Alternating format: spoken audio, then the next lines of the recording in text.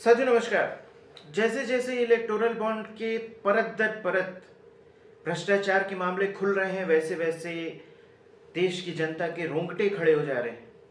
अभी एक तुरंत का जो एक मामला सामने आ रहा है, उसमें 14 मार्च को चुनाव आयोग द्वारा जो सूचना दी गई है, जो डेटा जारी किया गया है, उसमें भारत की 35 दवा कंपनियों ने इलेक्टोरल बॉन्ड के माध्यम से लगभग एक हज़ार करोड़ रुपए बीजेपी को दिया है।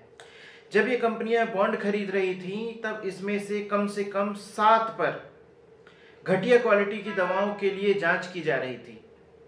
अब आप सोचिए, जो कंपनी घटिया दवाओं के लिए जाँच के घेरे में है, वो बीजेपी को चंदा देती है। और चंदा थोड़ा बहुत नहीं, हज़ार पाँच सौ लाख में नहीं, ये चंदा करोड़ों में है, हज़ारों करोड़ में है।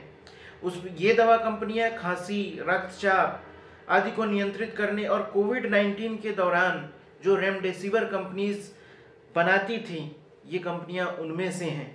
अब आप सोचिए कि एक तरफ़ कंपनियाँ लोगों की स्वास्थ्य से खिलवाड़ कर रही थी इस तरह की दवा बना के और इस खिलवाड़ को छुपाने के लिए बीजेपी को इलेक्टोरल बॉन्ड के माध्यम से पैसे दे रही थी।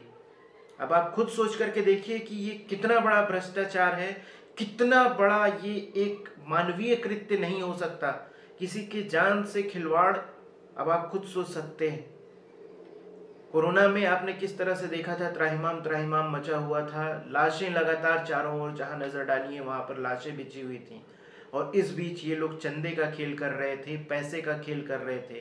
क्या ये लोग इंसान कहलाने लायक हैं? क्या ये लोग किसी भी तरह से मानवता पर कलंक हैं ये लोग? मेरे पास शब्द ही कम पड़ गए हैं कि इन्हें क्या बोला जाए। इनके लिए कुछ भी इनके आगे स्टैंड नहीं करता। अगर आप इन्हें पैसा देंगे तो ये अपने घर वालों को बेच देंगे। धन्यवाद।